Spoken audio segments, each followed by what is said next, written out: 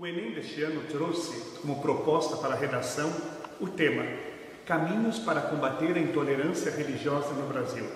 Tema oportuno, necessário para que todos nós reflitamos mais. Nós vivemos a nossa fé cristã, mas toda a sociedade, especialmente uma sociedade que escolheu por um caminho de não valorizar tanto as ciências humanas e valorizar mais a técnica e talvez o mercado. Em primeiro lugar, não é fácil responder essa questão, mas certamente o primeiro ponto é: nós precisamos valorizar mais a convivência, encontrar-se mais com o outro, enquanto cada um pensa para si, enquanto o individualismo se fortalece, não existe como combater a intolerância.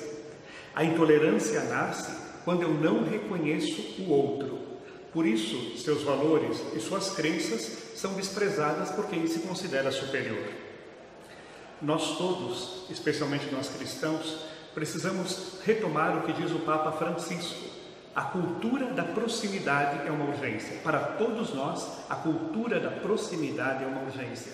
Aproximar-se do outro, reconhecer a pessoa do outro.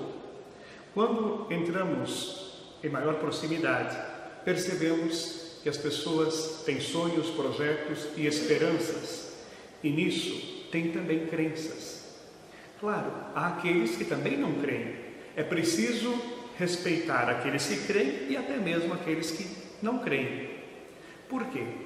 Porque todos nós, seres humanos, somos chamados a essa convivialidade. A intolerância é um sinal de incapacidade de conviver com o diferente.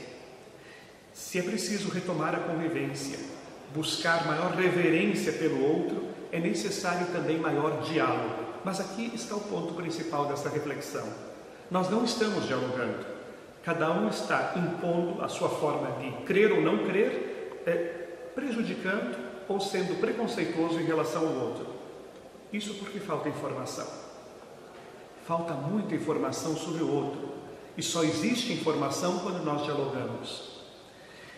É importante resgatar, no contexto da educação, a disciplina de ensino religioso. Nós, há muito tempo, na prática, temos feito uma opção nesse país de não valorizar o ensino religioso.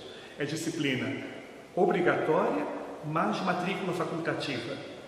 Enquanto isso for assim, nós continuaremos desrespeitando quem pensa diferente de nós, nós continuaremos preparando-nos para muitos aspectos da vida, mas não sendo capaz de conviver. Religião, crença ou não crença, não são detalhes, são aspectos fundamentais que estruturam também a vida das pessoas. É uma abstração pensar que religião não é importante.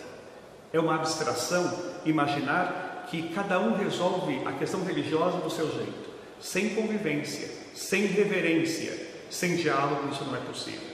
Aqui fica o nosso apelo que possamos conviver mais, nos aproximar, mas só vamos nos conhecer melhor quando também tivermos proximidade.